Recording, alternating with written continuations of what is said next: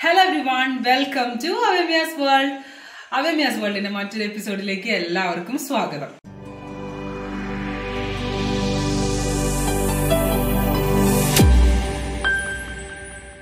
നമ്മൾ കുറച്ച് അധികമായ ഒരു കുക്കിംഗ് വീഡിയോ ചെയ്തിട്ട് അപ്പൊ ഞാൻ ഇന്ന് നിങ്ങളുടെ മുമ്പിലേക്ക് വന്നിരിക്കുന്നത് ഒരു ചെറിയൊരു സിമ്പിൾ ആയിട്ട് എല്ലാവർക്കും ഉണ്ടാക്കാൻ പറ്റുന്ന ഒരു ഒരു ചെറിയൊരു ഡിഷായിട്ടാണ് വരുന്നത്.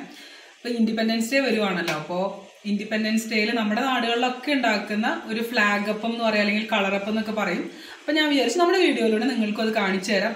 ഈസിയാണ് പ്രത്യേകിച്ച് വേറെ ഒരു അധികം നമുക്ക് കിട്ടാത്ത ഒരു ഇൻഗ്രീഡിയൻസ് ഒന്നുമില്ല ഞാനിപ്പോ നേരത്തെ റെഡിയാക്കി വെച്ചിട്ടുള്ള സതീഷയുടെ ക്ലോസർ വാ.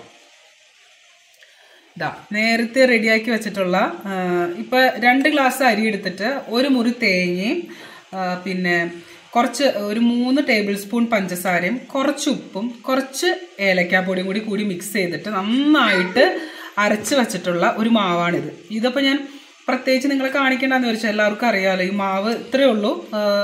നേരത്തെ അരി കുതിർത്തി വെച്ചിട്ട് ചെയ്തതാണ് ഒരു രണ്ട് മൂന്ന് മണിക്കൂർ മുമ്പ് ഞാൻ കുതിർത്ത് വെച്ചതാണ്.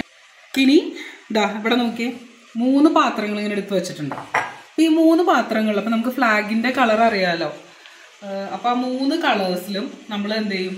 ഇത് മിക്സ് ചെയ്ത് വെക്കും. അപ്പം വൈറ്റ് കളർ നമ്മുടെ അടുത്ത് ഓൾറെഡി ഉണ്ട്. ഇനി നമുക്ക് വേണ്ടത് ഓറഞ്ച് ഓറഞ്ച് കളർ ഇതാ ഒരു കുറച്ച് ഓറഞ്ചും പിന്നെ ചെറുതായിട്ട് ഗ്രീൻ കളറും. അപ്പോൾ അത് മിക്സ് ചെയ്ത് വെച്ചിട്ട് അതെങ്ങനെ ഉണ്ടാക്കണേന്ന് നിങ്ങളുടെ അടുത്ത് കാണിച്ചു തരാം. ഓക്കെ നമ്മളുടെ കളേഴ്സ് നമ്മൾ മിക്സ് ചെയ്യണമല്ലോ അപ്പം ഞാൻ ആദ്യം കുറച്ച് ഓറഞ്ച് കുറച്ച് എടുക്കണുള്ളൂ കേട്ടോ ഇത്ര മതിയാവില്ലേ ചേട്ടാ? ഇത്ര മതിയാവില്ലേ ഓക്കെ ദെൻ അതിങ്ങനെ കൈ കൊണ്ട് നമ്മൾ വേണമെങ്കിൽ ഒന്ന് പരത്തിയിട്ട് കൊടുത്താലും മതി. ദേ ഓറഞ്ച് കളറായിട്ട് വരുന്നുണ്ട്. ഇച്ചിരി കളർ കുറവെന്ന് ഫീൽ ചെയ്യുകയാണെങ്കിൽ ഇച്ചിരി കൂടി ഇടണം അല്ലേ? ഇച്ചിരി കുറവ് പോലെ എനിക്ക് ഫീൽ ചെയ്യുന്നുണ്ട്. ഇച്ചിരി കൂടി. ഇത്ര മതി. അപ്പോൾ ദേ ഫുൾ കളേഴ്സ് വെച്ചിട്ടുള്ളത് എപ്പോഴും കഴിക്കുന്നില്ലല്ലോ. ഇതിപ്പോൾ ഇങ്ങനെ ഒരു സ്പെഷ്യൽ ഒരു ഡിഷ് ആയതുകൊണ്ട് നമ്മളങ്ങനെ ചെയ്യുന്നു. മതിയില്ലേ? കുറച്ചും കൂടി വേണോ? ഇനിയിപ്പോൾ ഇത് വൈറ്റ് ഓൾറെഡി ഉണ്ട്. ഇനി ഗ്രീൻ ആവശ്യമായിട്ട് ഗ്രീൻ ആവശ്യമായിട്ട് ഇത് കുറച്ച് ഒഴിച്ചാൽ മതിയായിരിക്കും. അത് ആദ്യം ഒഴിച്ച് നോക്കാം. ഗ്രീൻ നല്ല കളറായിട്ട് വരുന്നുണ്ടല്ലേ? ഇതാപ്പം നമ്മളിങ്ങനെ ആവശ്യമായിട്ടുള്ള കളേഴ്സൊക്കെ നമുക്ക് മിക്സ് ചെയ്തു. ഇനി നമ്മൾ ചെയ്യാൻ പോകുന്നത് ഇപ്പോൾ ഇതുപോലൊരു പാത്രം എടുക്കുക. നമ്മുടെ എല്ലാവരുടെയും വീടുകളിലുള്ള ഒരു സാധാരണ പാത്രം നമ്മൾ ഇതുപോലെ എടുത്തിട്ട് നന്നായിട്ട് ഓയിൽ ഇതുപോലെ പരട്ടി കൊടുക്കുക. നല്ല കൈയുകൊണ്ട് ഇതുപോലെ എല്ലാ ഭാഗത്തും നന്നായിട്ട് ഓയിൽ ഒഴിച്ചു കൊടുക്കുക. ഓക്കെ അപ്പം ഇത് എല്ലാ ഭാഗത്തും നന്നായിട്ട് ആയിട്ടുണ്ട്.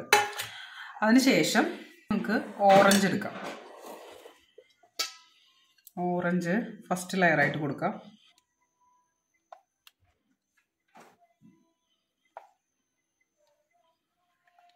ഇത്രയും കൊടുത്താൽ മതിയായിരിക്കും.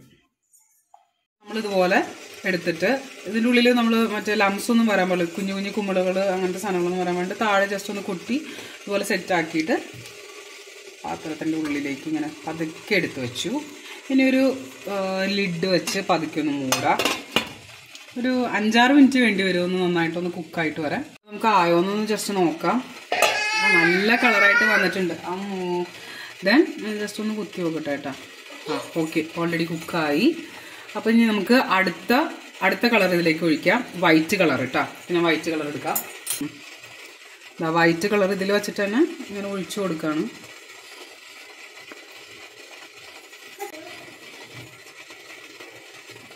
ഒന്ന് പരത്തി കൊടുക്കണേ. ഇത്ര മതി.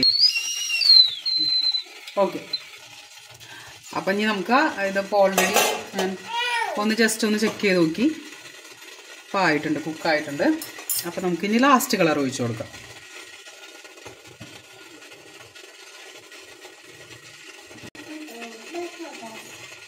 ലാസ്റ്റത്തെ കളറും സെറ്റായി ഇനി ഇതൊന്ന് കുക്കാവട്ടെ നല്ല വിസിൽ കേൾക്കുന്നുണ്ട്. പക്ഷെ അത് നന്നായിട്ട് കുക്കൊന്നും ആയിട്ടില്ല. ഇച്ചിരി കൂടി ടൈം എടുക്കും കുക്കാവാനായിട്ട് അപ്പോൾ ദേ നമ്മുടെ കളറപ്പം അല്ലെങ്കിൽ ഫ്ലാഗപ്പം ഏത് എന്ത് വേണമെങ്കിലും പറയാം. പല കളേഴ്സ് വെച്ച് ഉണ്ടാക്കുന്നുള്ളൂ അപ്പോൾ അത് റെഡിയായി അപ്പം ഞാനത് കുറേ നേരം ഒരു ഓൾമോസ്റ്റ് ഒരു ട്വന്റി മിനിറ്റ്സ് ഇത് മൊത്തത്തിൽ കുക്കാവാൻ എടുത്തു. അത് കഴിഞ്ഞിട്ട് ഞാനൊരു ഫിഫ്റ്റീൻ മിനിറ്റ്സും കൂടി വെച്ചു. നന്നായിട്ടൊന്ന് തണുത്തിട്ട് വേണമല്ലോ എടുക്കാൻ. അപ്പോൾ നമുക്കൊന്ന് ഇളക്കിയെടുക്കാം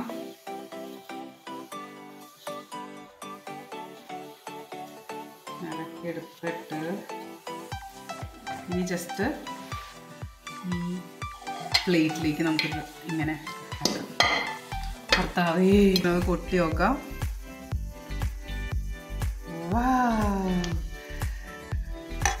കുറച്ച് വെളിച്ചെണ്ണ കുറവിന്റെ തോന്നുന്നു അല്ലേ? സൈഡിലൊക്കെ. നൈസായിട്ടുണ്ട്. ഞാൻ ഇളക്കിയെടുത്തതിന്റെ ഒരു ഇതാണ്.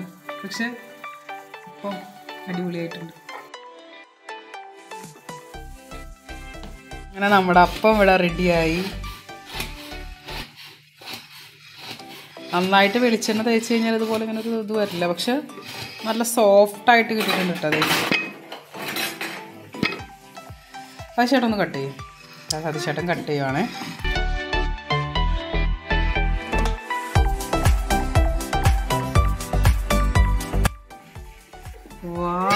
സൂപ്പർ ഇത് നല്ല സോഫ്റ്റ് ആയിട്ടുണ്ട് കേട്ടോ. നമുക്ക് ആദ്യം തന്നെ അമ്മു ബേബിക്ക് കുറച്ച് കൊടുക്കാം. പിന്നെ കൂടുതൽ ഫുഡ് കളേഴ്സ് ഉള്ളതൊന്നും അമ്മു. ഹായ് സൂപ്പറാണോ സൂപ്പറാണോ സൂപ്പറാണോ സൂപ്പർ ഓക്കെ നല്ല ചൂട്. ചെറു നല്ല ചൂട് പറയില്ല. നന്നായിട്ട് തണുത്തിട്ടുണ്ട് എന്നാലും നമുക്ക് നിങ്ങൾക്ക് ക്ലോസറിൽ കാണാൻ പറ്റൂട്ടോ. കുറച്ച് ഇങ്ങനെ ആവി വരുന്നുണ്ട്. കഴിച്ചോക്കട്ടെ